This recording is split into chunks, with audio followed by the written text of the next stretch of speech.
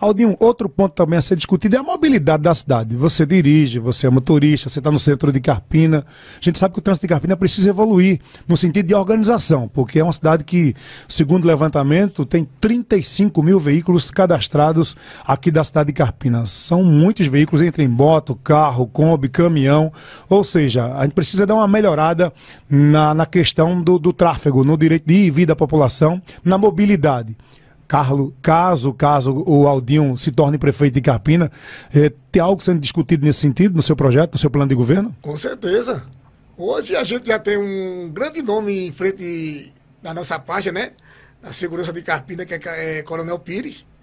E ele, ele hoje, ele, a gente passando na, nas andanças, e a mulher, até o, o comerciante, ele falou da acessibilidade.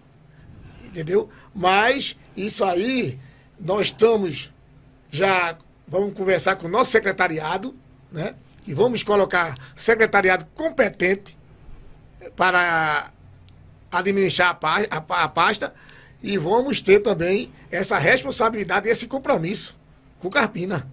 Já, já, estamos, já, já estamos colocando em pauta e discutindo sobre a nossa é, mobilidade.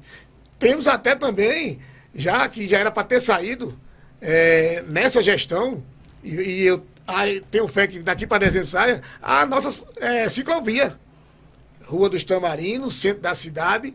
A gente já estamos colocando isso em, em planejamento. Francisco Júnior, estamos no, estamos no, no projeto de crescimento. Estamos numa visão de crescimento.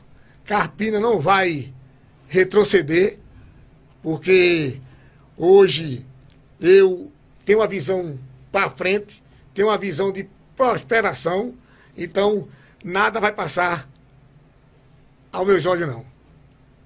Nosso secretariado vai ser bem, bem, é, como é que convocado.